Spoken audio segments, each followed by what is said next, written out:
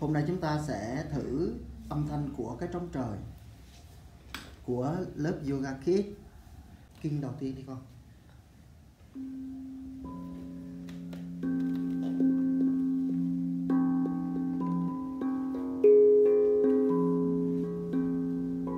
Mọi người không biết chơi đàn mà vẫn chơi rất là hay đó.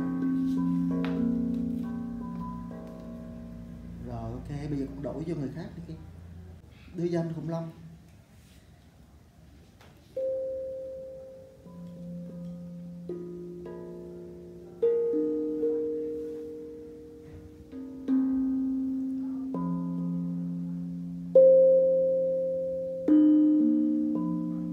Rất hay.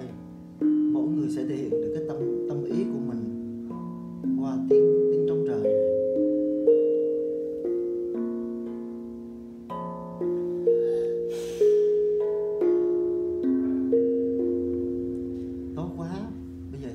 giờ